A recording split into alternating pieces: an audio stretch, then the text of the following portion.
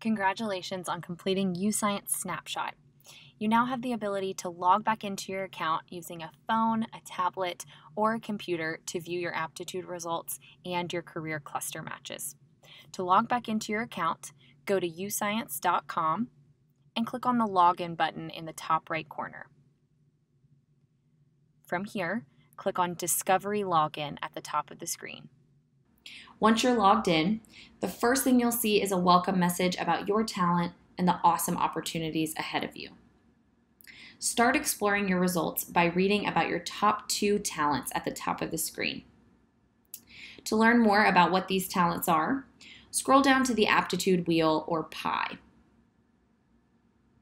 The largest pieces of this pie show you what your strongest talents are.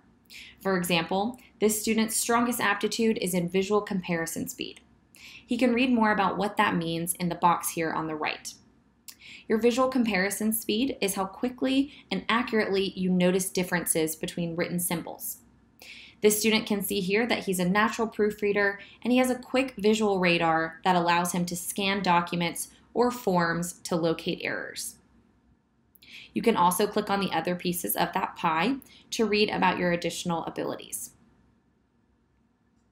After you explore your aptitudes, you can learn more about your top three work interest areas or the things you enjoy doing. For example, this student's top three interest areas are in artistic work, investigative work, and realistic work. That means he's interested in careers where he can work creatively, conduct research, and work with his hands or in a job that requires physical activity.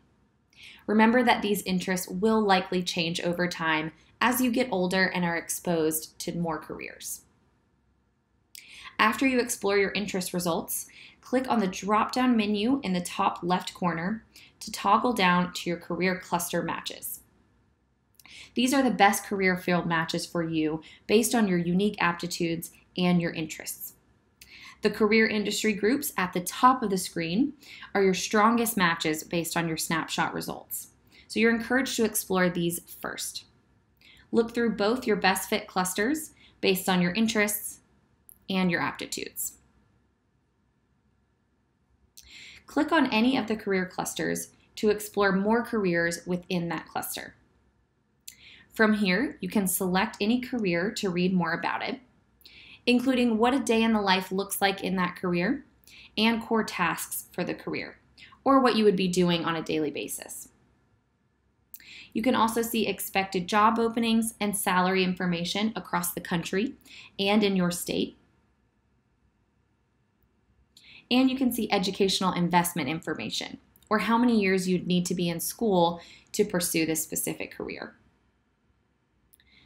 At the bottom of this page, you'll view a list of industries that hire people for this specific job.